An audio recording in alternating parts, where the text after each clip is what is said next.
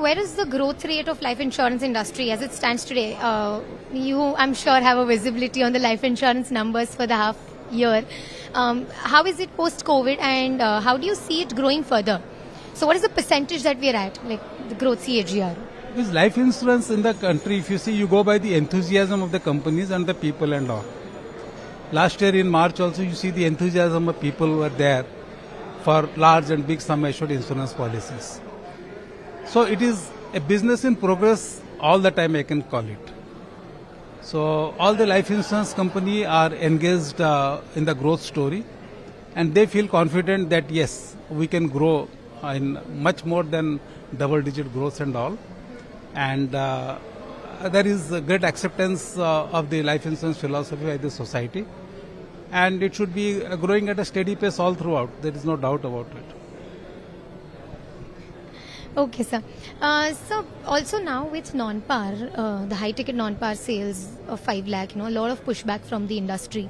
Uh, do you believe? I, I, and most of them seem to have maintained some level of growth in the first quarter at least.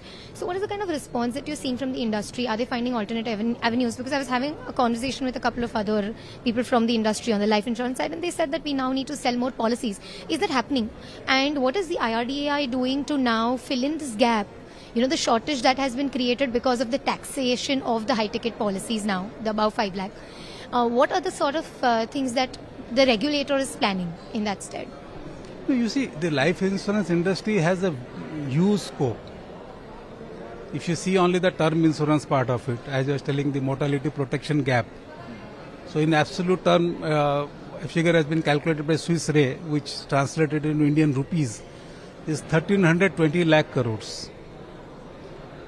and if you ask anybody, yes, they feel that I should be having a protection policy. So that has nothing to do with uh, a lot of taxation and others. Even for less than 5 lakhs, you can have a use sum assured. Because if you see, suppose at your age, if you take 1 crore policy, the maximum premium will be 25,000 rupees. Suppose if you take 10 crores, it will be only 2.5 lakhs. So it is much less than the 5 lakhs.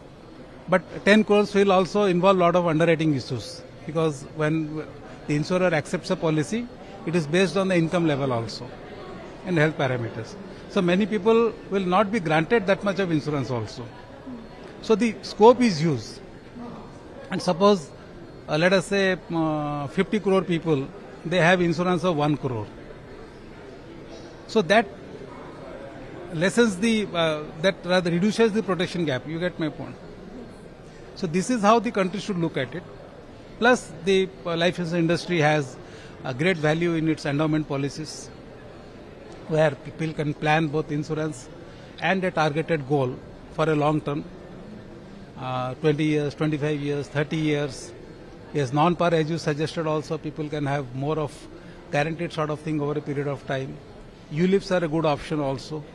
So it has got huge scope. So apart from the taxation also there are huge scope. So uh, I think uh, we have not touched even 5% of that scope.